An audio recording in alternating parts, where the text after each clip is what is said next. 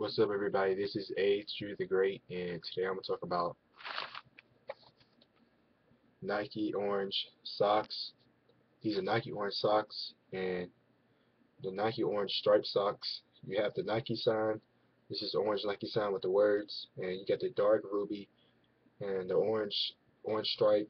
These are pretty good socks, this is just one pair and these are pretty good Nike socks. and at the bottom you got the end like the ruby at the end of the toe.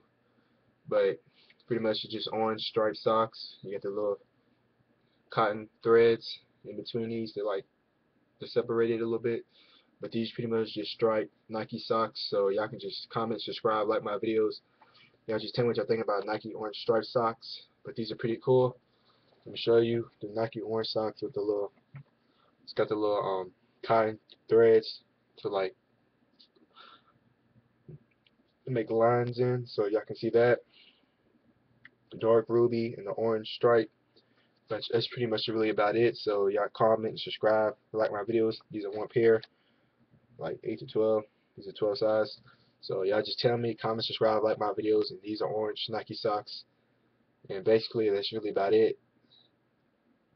So this is Age to the Great. Comment subscribe like my videos. And pretty much like I say again dark ruby orange line and at, the end at the um, dark ruby and pretty much just orange Nike sauce with the orange orange words orange letters and the orange Nike sign and the orange threads.